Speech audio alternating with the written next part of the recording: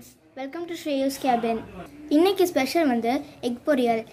Egg பொரியல் வந்து நார்மலாக தானே பண்ணுவாங்க. இல்லைன்னா ஸ்பெஷல்னு கேட்டிங்கன்னா நம்ம கேபேஜ் போட்டு எக் பொரியல் பண்ண போகிறோம் கேபேஜ் பொரியல் சாப்பிடாதவங்க வந்து இதெல்லாம் சாப்பிடுவாங்க. குழந்தைங்க தான் மெயினாக சாப்பிட மாட்டாங்க. அவங்களும் இதை விரும்பி சாப்பிடுவாங்க. நம்ம வந்து பொடி பொடியாக கட் பண்ண பச்சை மிளகா ரெண்டு பச்சை மிளகா வச்சுருக்கோம். சின்ன பீஸ் இஞ்சி ஒரு வெங்காயம் கொஞ்சோண்டு கருவேப்பிலை அதுக்கப்புறம் ஒரு கப் கேபேஜ் அது கூடவே நாலு முட்டை போட்டு நம்ம நல்லா மிக்ஸ் பண்ணி வச்சுருக்கோம். இப்போ பேன் சூடாயிருச்சு. இதில் வந்து நம்ம வந்து தேங்காய் எண்ணெய் ரெண்டு டேபிள் ஸ்பூன் போட்டிருக்கோம். இது கூட வந்து ஒரு டீ டீஸ்பூன் கடுகு அப்புறம் கருவேப்பு அப்புறம் பச்சை மிளகா இஞ்சி அதுக்கப்புறம் வெங்காயம்.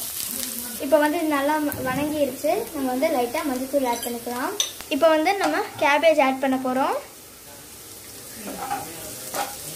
நல்லா மிக்ஸ் பண்ணிக்கலாம். இப்போ வந்து நம்ம தேவையான அளவு உப்பு ஆட் பண்ணிக்கலாம். அது நல்லா மிக்ஸ் பண்ணதுக்கப்புறம் நம்ம வந்து மூடி வச்சுக்கலாம். அப்புறம் ஒரு ஃபைவ் மினிட்ஸ் அப்படியே வைக்கலாம். இப்போ நம்ம மூடி எடுத்தாச்சு. இதை வந்து சும்மா தண்ணி தெளிக்கலாம். சும்மா தண்ணி தெளிச்சிட்டு நம்ம நல்லா இறக்கிட்டு அதுக்கப்புறம் திருப்பி டூ மினிட்ஸ் வந்து சிம்லேயே மூடி வைக்கலாம். இப்போ நம்ம கேபேஜ் ரெடி ஆயிடுச்சு இப்போ நம்ம வந்து நம்மளோட எக்கை ஆட் பண்ணலாம்.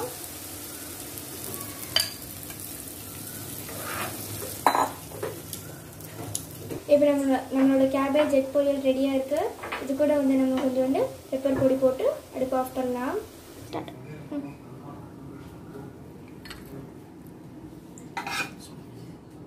நம்மளோட கேபேஜ் எக் பொரியல் சுட சுட ரெடியாக இருக்குது இதை வந்து நீங்கள் வந்து ரைஸ் கூட வச்சு சாப்பிட்டுக்கலாம்.